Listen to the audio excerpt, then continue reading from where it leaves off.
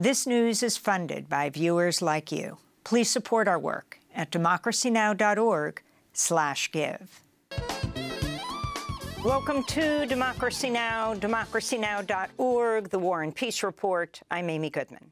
Dozens of Palestinians have been killed after Israel resumed its bombardment of Gaza, ending a week-long pause to facilitate the exchange of captives. Hamas responded by firing a salvo of rockets towards southern Israel. The UN says the resumption of violence puts thousands of innocent lives at risk. Since the October 7th Hamas attack, the Israeli bombardment has killed over 15,000 Palestinians, including 6,100 children. Israel's expanded its military campaign to target southern areas of Gaza, where Israeli planes have been dropping leaflets warning people to evacuate areas around Khan Yunis, warning the city was now a dangerous battle zone. Israel previously expelled hundreds of thousands of people from the northern Gaza Strip to the south. Just hours before the truce expired, Residents of Khan Yunis searched through the rubble of their former homes for any personal items they could salvage. The end of the calm today feels like our execution. They are telling us that today is the last day of the ceasefire, and we have 24 hours before we return to a life of sheltering in schools in squalor.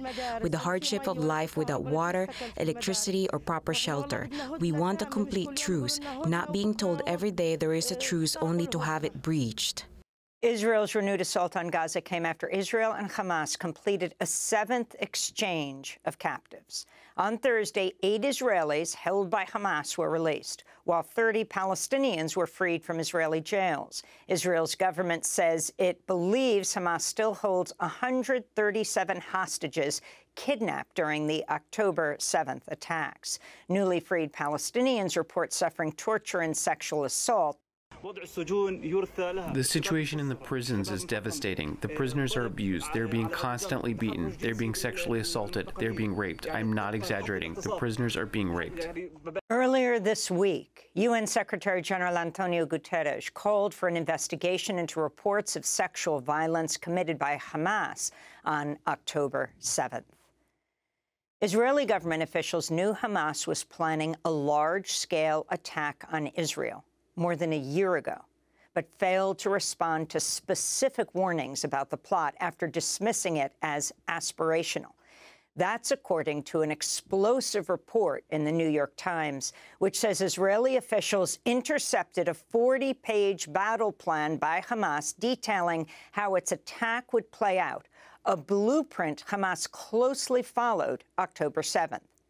Meanwhile, Another explosive new report by Plus 972 magazine details how Israel is using artificial intelligence to draw up targets in Gaza and how Israel's loosened its constraints on attacks likely to kill civilians.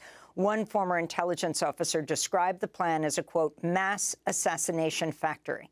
After headlines, we'll go to Jerusalem to speak with the Israeli investigative reporter Yuval Abraham, who broke the story. In Arizona, 26 people were arrested Thursday as protesters peacefully blockaded a Raytheon manufacturing hub in Tucson, demanding an end to U.S. arms transfers to Israel. One protester said, quote, we're outraged that more than 15,000 Palestinians have been killed while companies like Raytheon continue to fill their coffers with blood money, unquote. Among those arrested was journalist Alisa Reznick of public radio station KJZZ. She was arrested by Pima County Sheriff's deputies even as she carried recording equipment and repeatedly identified herself as press. MSNBC is facing a torrent of backlash after announcing it's canceling the Mehdi Hasan show. The British-born journalist is known for holding powerful figures to account and is one of the most powerful Muslim voices on American television. Following the news, Congressmember Ilhan Omar said, quote, it's deeply troubling that MSNBC is canceling his show amidst a rampant rise of anti-Muslim bigotry and suppression of Muslim voices, she said. Journalist Ryan Grim said, quote, Mehdi's style of confrontational interviews in which he doesn't let public figures get away with lies or half-true talking points turned him into a celebrated journalist in the UK. His show's cancellation is such a pathetic indictment of the U.S. media, Grim said. Mehdi Hasan show has been welcomed as one of the few on mainstream networks to question Israel's narrative over its attacks on Gaza. Earlier last month, Hasan interviewed Mark Regev, a senior advisor to Prime Minister Netanyahu.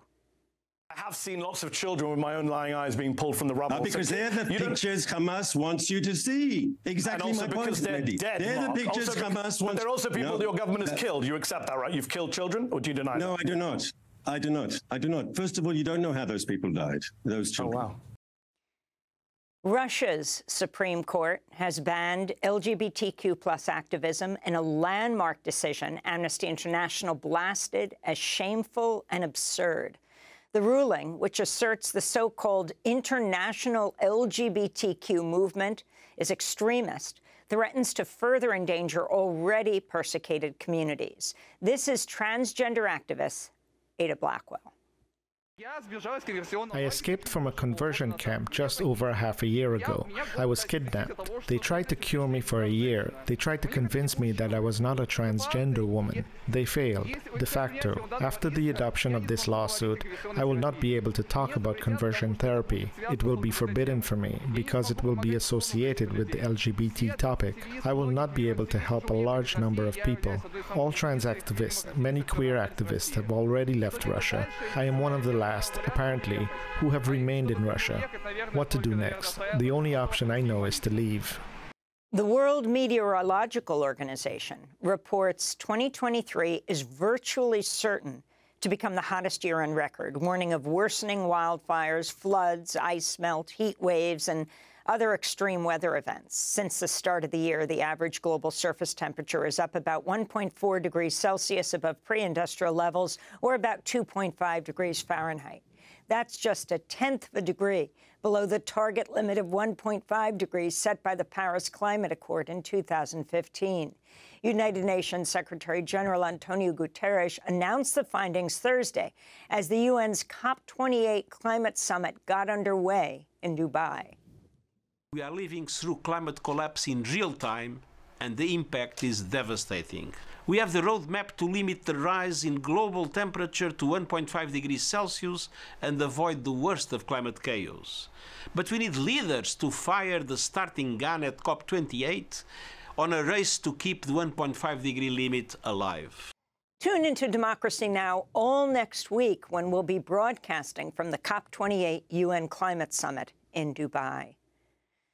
The White House has confirmed President Biden will not attend the COP28 summit this year, but that Vice President Kamala Harris will be in attendance.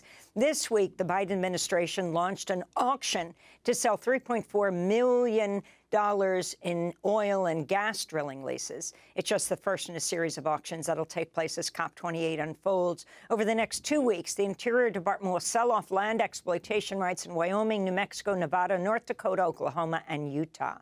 This comes as data from the U.S. Energy Information administration show the Biden administration surpassed the Trump administration in crude oil production, bringing U.S. production higher than at any other time in history. The Center for Biological Diversity warns Biden's fossil fuel projects, quote, threaten to erase the climate emissions progress from the Inflation Reduction Act. The House of Representatives voting today over whether to expel New York Congressmember George Santos, who repeatedly lied about his professional experience, his background, and likely committed multiple violations of campaign finance rules. Santos painted himself as a victim of a smear campaign, refused to resign as he addressed lawmakers Thursday as they debated his future. When this vote is on the floor, it is in the conscience of all of my colleagues that they believe that this is the correct thing to do so be it. Take the vote. I'm at peace. If ousted, Congressmember George Santos would become just the sixth member of the House ever to be removed by fellow lawmakers. And in California, animal rights activist and attorney Wayne Hsiung has been sentenced to 90 days in jail after he was found guilty of felony conspiracy and misdemeanor trespassing for rescuing dozens of injured and dying ducks and chickens at two factory farms in Sonoma County, California.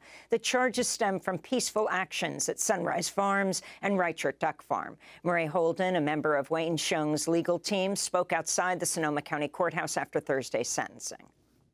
I believe that this trial will end up in the Book of Animal Liberation when that book is written. I'm tremendously grateful to Wayne for the sacrifice that he has made, the injustice of the fact that a human being is being held in a cage for the supposed crime of compassion, for rescuing other sentient, feeling beings from cages, will not be lost on the world. Wayne Hsiung is the co-founder of Direct Action Everywhere, a global network of animal rights defenders. To see our interviews with him, go to democracynow.org. And those are some of the headlines. This is Democracy Now!, democracynow.org, The War and Peace Report. I'm Amy Goodman. Democracy Now! is funded by viewers like you. Please give today at democracynow.org/give.